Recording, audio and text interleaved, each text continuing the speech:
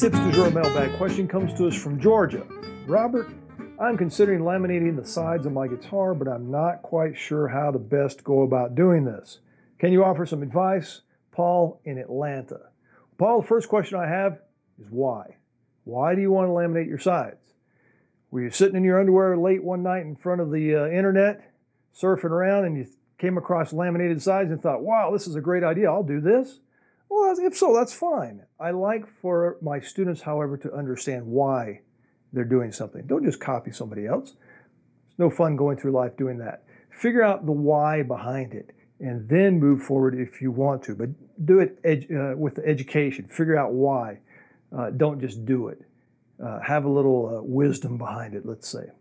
All right, so why would you want to laminate the sides? Two reasons structural and tonal. Let's address the structural first of all. Uh, some sides are prone to cracking, breaking, or rippling across the grain. A lot of times we see guitars have slight ripples in it, low spots in the sides. Uh, that's not uncommon when bending sides because we're introducing moisture and heat. And wood doesn't like that, so it tends to cup and bend and twist and break and do all kinds of things. Perhaps also you have a high dollar set of sides that you're really worried about bending around that cutaway. The pucker factor is off the charts. And so perhaps thinning them down to a thickness that is suitable for bending and lowering your pucker factor uh, is good perhaps, but then they're too thin, so you need to laminate them to get them back to an adequate thickness. So those are some structural reasons of doing it. Tonal reasons of doing it. Now this can get pretty involved, so I recommend if you want to take it a step further, go out and get the books by Trevor Gore, good friend of mine in Australia who actually wrote the books on modal tuning, and he explains the why behind uh, doing laminated sides when it comes to tone. Basically, it boils down to this, and I give this example in my class. I think Trevor also gives uh, this example. Is if you have a swimming pool, you jump into it and you create a wave.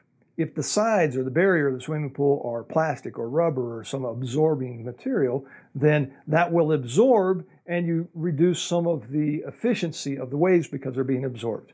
If you have a side that's made out of concrete or uh, brick, when the wave hits it, it's uh, immediately reflected back into the pool. So a guitar is kind of the same thing. The wave uh, will hit a, a dense or a stiff side and be reintroduced into the soundboard and therefore you have an instrument that works a little bit more efficiently. Not a lot of energy in these instruments to begin with, so anything that we can keep in the top or in the soundboard is better for the overall sound.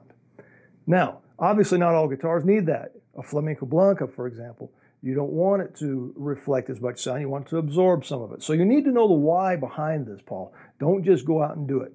Uh, design the instrument with this in mind, or the lamination with the instrument in mind, of why you're going to do this.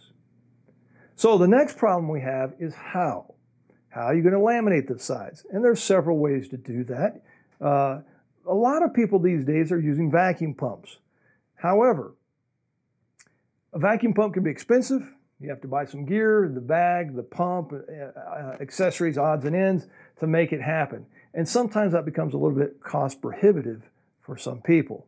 However, uh, there is a company called Roarockit, and I believe this company is Canadian, if I'm not mistaken, and they uh, started by making vacuum bags with manual pumps. And it was used for the skateboard industry. Guys that wanted to make their own skateboards could, could do it now and laminate and form the board using this manual pump vacuum press.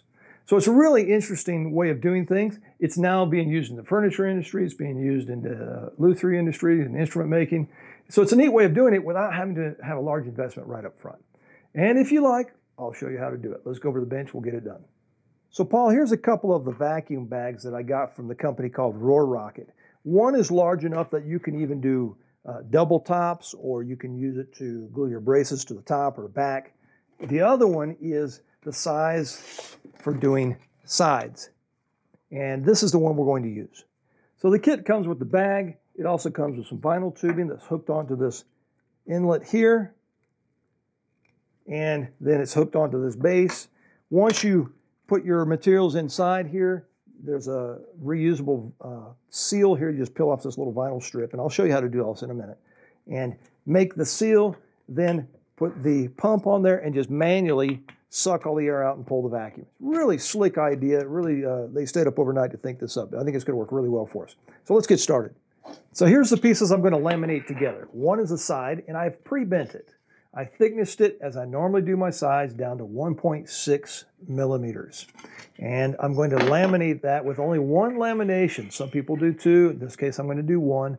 I'm going to do a piece of 0.6 no, actually, I think this is 0.5 uh, Indian rosewood veneer. So 1.6 and 0.5 comes around about 2.1 millimeters.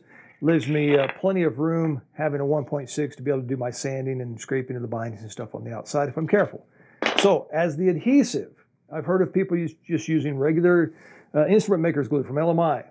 I've heard of people using fish glue. I've heard of people even using the polyurethane or Gorilla glues. Uh, in my case here, what I'm going to use is a two-part epoxy. Now, remember, one of the reasons why we're doing this is that uh, introducing moisture into very thin uh, pieces of wood causes them to cup and warp and things, and that's what we're trying to avoid by doing this. Uh, so I'm going to stay away from the water-based glues. However, some people are able to get them to work. I just choose to use the uh, two-part epoxy in this case. So here's a little tip for you. If you want your uh, epoxy to have a little more viscosity to it, or a little less viscosity to it, you can uh, put it in a bath of hot water here and get it to soften up a little bit. That way it flows out a little easier. You could also heat it with a heat gun as you're applying it. And I've got a small cup here to mix with. Be careful with your mix ratio. Make sure you read the instructions, get the mix ratio right. Also, you're going to want to use gloves. When you're mixing, if you decide to do it by volume, that's fine, or you can also do it by weight. Follow the instructions on the back of the epoxy and uh, make sure you get that mix ratio right. So I'm going to apply my epoxy to the thicker side. And it doesn't take a lot. You don't want this stuff oozing all over out, you know, inside the, the bag once you get it inside there. Now to spread it, I'm going to use a credit card. Now I've heard that the rich luthiers, they use the American Express cards.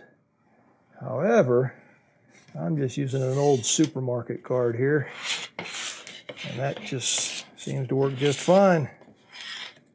And you've got about 30 to 45 minutes to work with your epoxy here. So you should have plenty of time to get done what you need to get done, including rip a hole in your gloves. The important thing is you make sure you get even coverage everywhere. Now, if you want to do a three ply, which some people do, you probably could get by without even pre-bending one of your sides because this stuff is flexible enough that it would probably bend without having to heat it.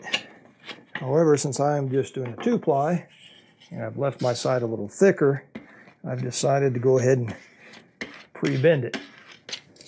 All right, so now I'm going to take my veneer and just place it inside here. Notice I have not pre-bent the veneer. What I'm going to do though is take a piece of tape and put right on there like that. Help hold that veneer to the outer veneer. Out here on the ends, I've even seen guys come in with a staple and just put a staple on each end here to help hold those veneers so they don't float around. But I think the tape ought to be just fine. Now you don't want to tape this stuff too securely because if it needs to slide as you're doing your clamping in your vacuum, then it needs to be able to do that. There we go. Now, we're almost ready for the vacuum bag. Before I go there though, I'm worried about getting glue inside my vacuum bag. So I'm just going to place some plastic wrap around this thing to help keep any squeeze out from getting inside the bag. All right, and now we're ready for the Roarockit vacuum bag. And once it's in the bag, you'll notice that it starts to try and flatten out a little bit. No big deal because now we're going to put it over a form and help it maintain its shape.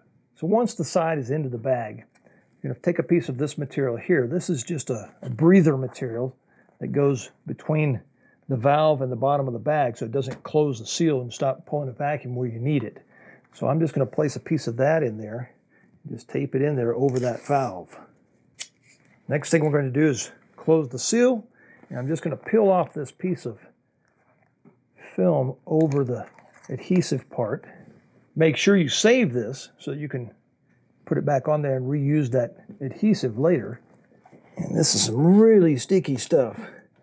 So make sure that you get it to clamp all the way down, and really create a seal there. So with the side into the uh, vacuum bag and the seal made, you need to put it over some type of shape to maintain the shape. And what I've chosen to do is just reuse my LMI bender that I used to bend, bend the uh, outside veneer there. You could also make a male-female form. You could make a camelback type form and clamp it down with clamps and things. But I just found this real convenient just to place it right back inside my bender like that. I'm even going to place a piece of spring steel in there underneath it to help give it a little bit more support. Right like so. And then now I can just go ahead and lower the waist here, take it on home. And it doesn't take a lot of pressure, just something to kind of hold it down, make it take its shape.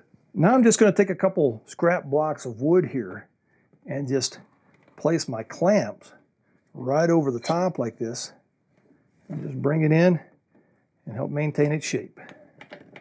Make sure that you've got your side clamped in there parallel and pushed all the way down against your form. Now we're ready to create the vacuum.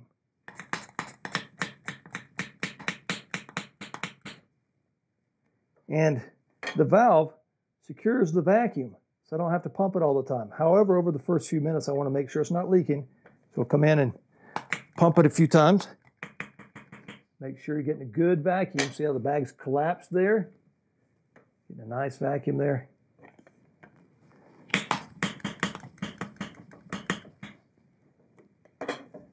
And there you have it. I'm going to let it sit overnight. We're good to go.